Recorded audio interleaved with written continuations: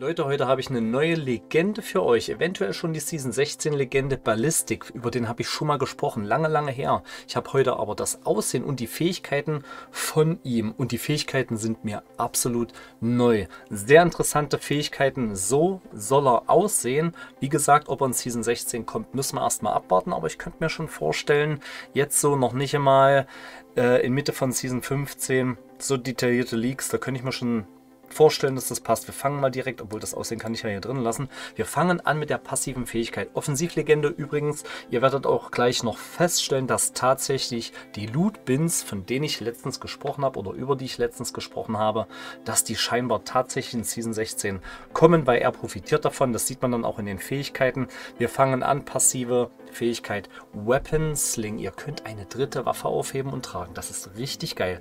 Einziger Nachteil, äh, ihr könnt sie nicht mit Aufsätzen ausrüsten. Und ihr könnt sie nur auswählen, wenn ihr auf dem Steuerkreuz, zum Beispiel auf dem Controller, nach unten drückt bleibt abzuwarten, ob wir irgendwie ähm, sagen können, pass auf, die dritte Waffe ist jetzt eine Flatline, die möchte ich jetzt aber als Main-Waffe tragen, weil ich vielleicht ein geiles Magazin gefunden habe. Ob du erst die Waffen droppen musst und dann die Reihenfolge beim Aufheben beachten musst oder ob man per Tastendruck die Waffen dann durchwechseln kann vielleicht. Das könnte ich mir vielleicht noch vorstellen. Ist auf jeden Fall schon mal eine interessante Fähigkeit. Die taktische Fähigkeit.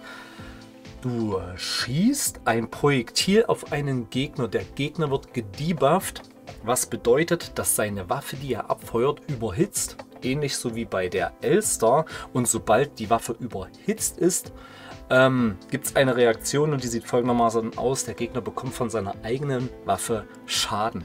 Das finde ich extrem geil. Und beim Abfeuern oder beim Halten der taktischen Fähigkeit kann man 1A auf einen Gegner vorher drauf visieren, damit man den gut trifft. Soweit verstehe ich das auf jeden Fall. Und wenn ihr ganz unten jetzt guckt, Assault-Klasse Access Red Loot Bins Carry Extra. Das ist das, wovon ich letztens gesprochen habe. Diese neue Lootbox, die für die offensiven Legenden gedacht ist, wo man dann erweiterte Magazine und so einen Schnickschnack für die Waffe und so weiter drin findet. Das bedeutet, das passt auf jeden Fall sehr zu Season 16 und die ultimative Fähigkeit nennt sich Weapon Enhancer.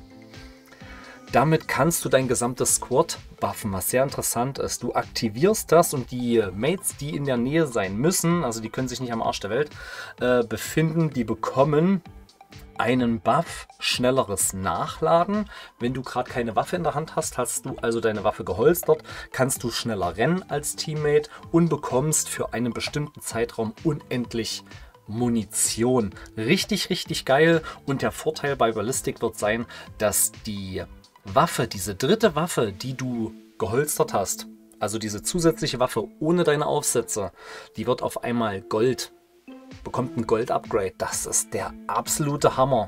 Also das klingt mega, mega interessant. Einzig die Frage stellt sich mir, wenn dieser Buff vielleicht vorbei ist, ob dann die dritte Waffe sich wieder downgradet zu einer Standardwaffe. Sonst könntest du ja theoretisch sagen, ich droppe jetzt die dritte Waffe für einen Mate, der dann eine goldene Waffe hat. Müssen wir mal sehen, ob die da irgendwo mit diesen Fähigkeiten einen Riegel davor schieben. Ich jedenfalls finde die Fähigkeiten von Ballistik extrem interessant und optisch könnte ich mir vorstellen, dass das tatsächlich alles so passt für Season 16. Ladies and Gentlemen, Daumen da lassen, Abo da lassen, würde ich mich sehr, sehr drüber freuen. Und wir sehen uns im nächsten Video. Ich wünsche euch noch einen schönen Tag, haut da rein, bis zum nächsten Mal. Ciao. Und natürlich Kommentare nicht vergessen.